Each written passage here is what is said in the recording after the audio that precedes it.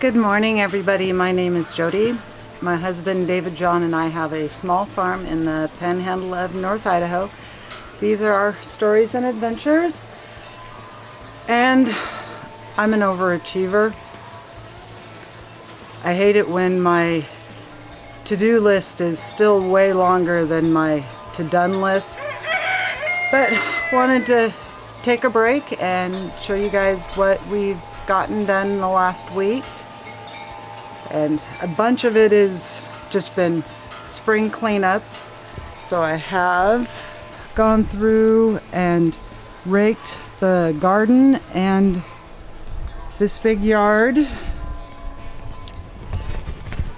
to get the pine needles and the willow droppings and pine cones from the winter cleaned up. I'm on my second burn, but up in the seed shed, I've been hardening off some stuff to go out into the hoop house. So here on the deck, I've got my mini roses, my pansies and Johnny jump ups, some onions and thyme, and my mint and the oregano. And the coolest thing is they're starting to bloom pretty little, and it's not going to cooperate, pretty little pansy blooms. But in the seed shed,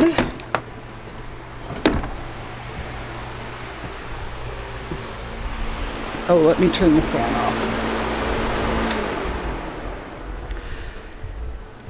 In the seed shed, I've got these side windows that I've just been opening up one on each side just to help with airing it out and getting it to dry up in here a little bit.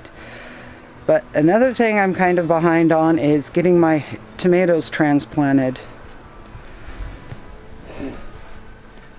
They're getting super long. But get to that. But on the germination table, the all the different basils have come up. And if you can see, there's another rosemary coming up, finally. And a bunch of my flowers have started to pop up. It's like those ones are black, bachelor buttons. I've got my different kinds of vines coming up.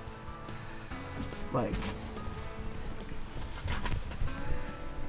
this guy is a cypress vine. So is that one, even though its leaves look different in the back, is hyacinth bean. And then I've got my got some zinnias coming up.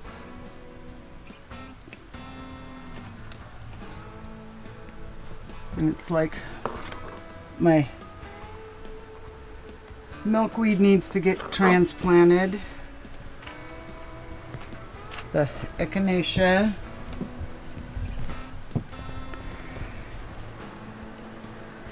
So the main reason I've been hardening those guys off is because I've got all this other stuff that I've got to get up potted and I needed the space. So I'm going to turn the fan back on and we'll go outside and I'll show you a couple other things we've got done.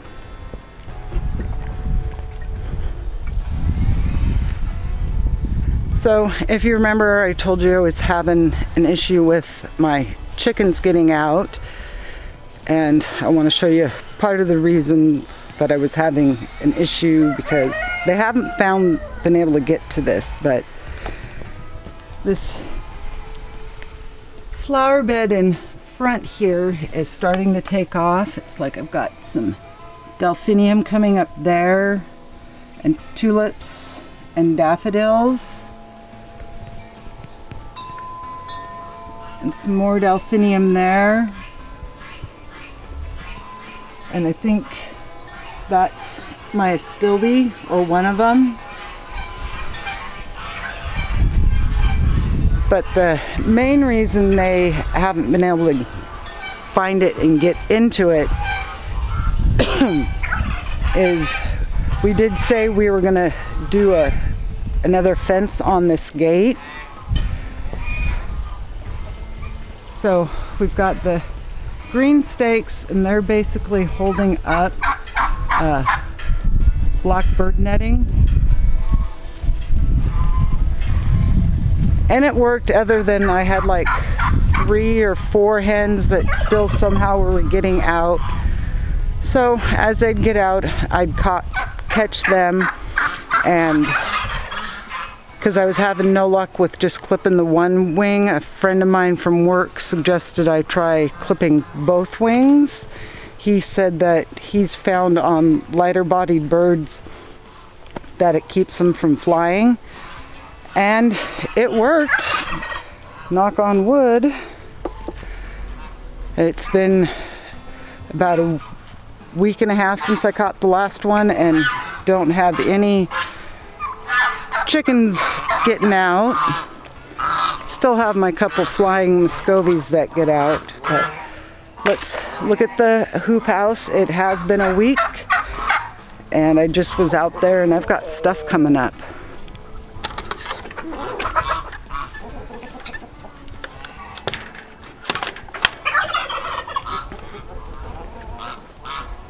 But still don't see anything on the asparagus pots yet.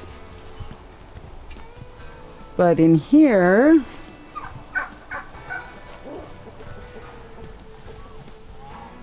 got my radishes are starting to take off. And the little seed or the plugs that I put in, some of them are doing okay. It's like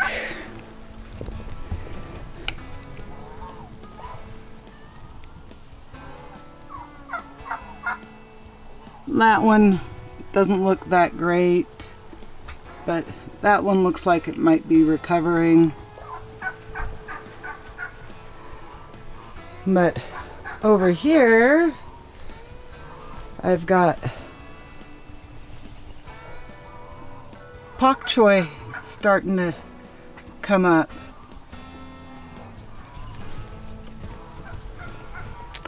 None of the other brassicas, but it has only been a week and has been down in the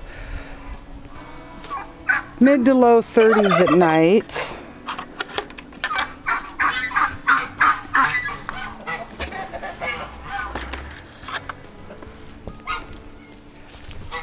So uh, as I was saying, one of my to-dos that I'm not going to be able to get to today that I really need to get done is this runway here.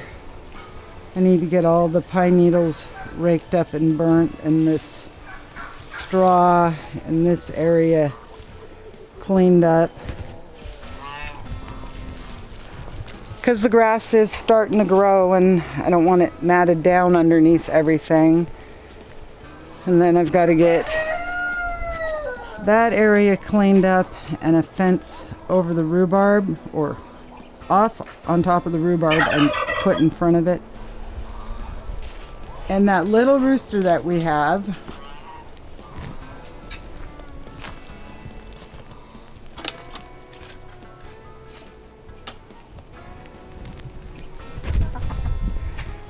David John named him George, as in George of the Jungle. But let's go over here. So I did get my side of the chicken coop cleaned up after a winter's worth of yuck picked up. So wasn't on my list. It just wound up being that way because it was grain day and figured since most of the buckets were empty, I might as well fill it. But walk through the geese for a minute. Yeah. But on that turkey with the injury, I did move her out to the shh.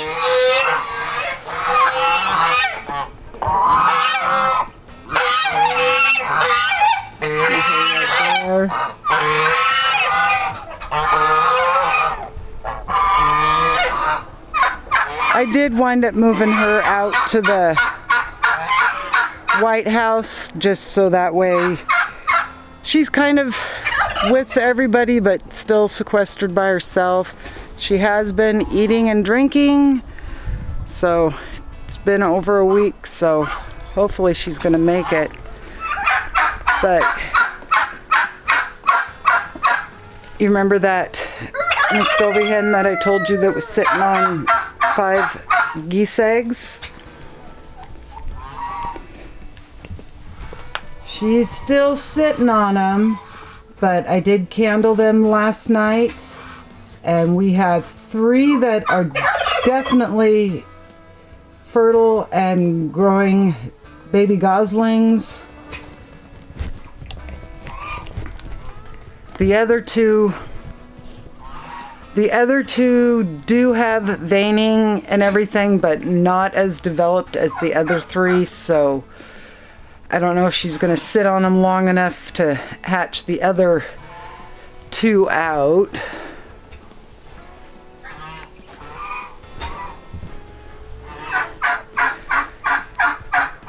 And I did wind up bringing their long trough feeder out here from inside there because it's dark and nothing's really in there so it's kind of overrun with mice. Can't really put bait out or anything for them because the chickens do catch and kill mice and so does Yeti. So I figured moving it out here little less protection for, for the mice.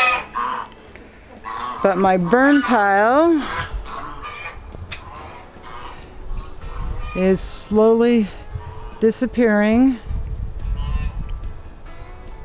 And this area over here, I got all the pine needles and everything raked up. And that's what I burnt today was that. And the last of the stuff from out front. But over here in this area,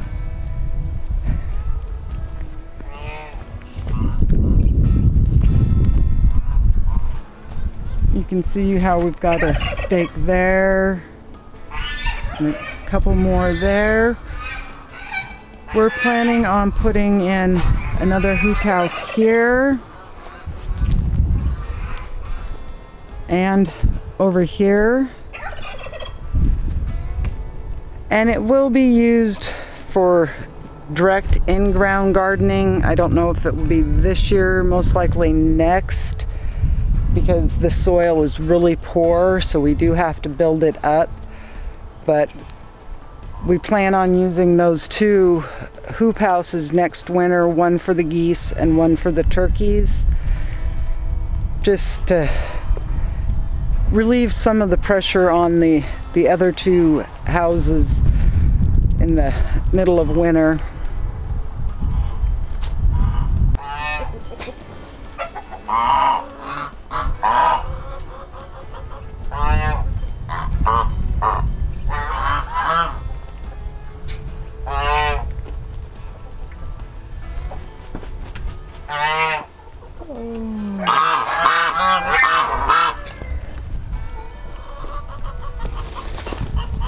Let's go into the orchard and went through and did a prune job on the apple trees and painted their trunks white. So kind of got this guy top down. That big branch right there it had two big ones that were coming off it and it actually had split. So instead of more damage happening, I figured I'd just remove it. But the, got this one trimmed down.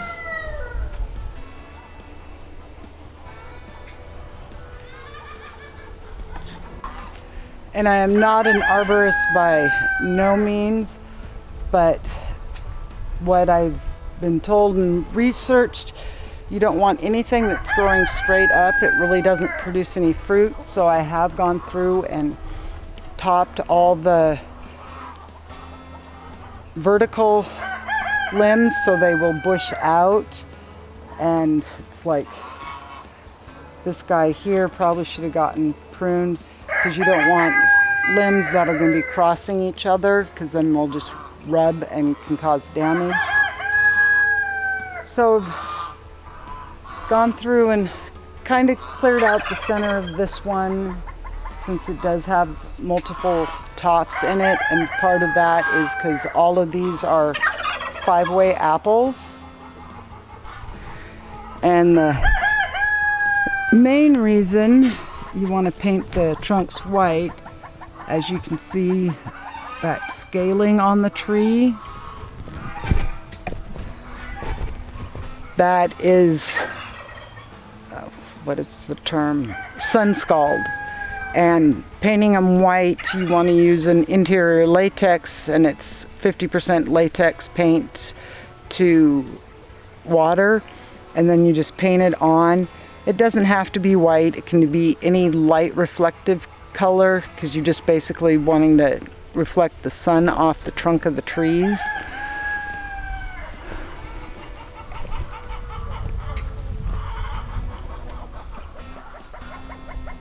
So here's this one.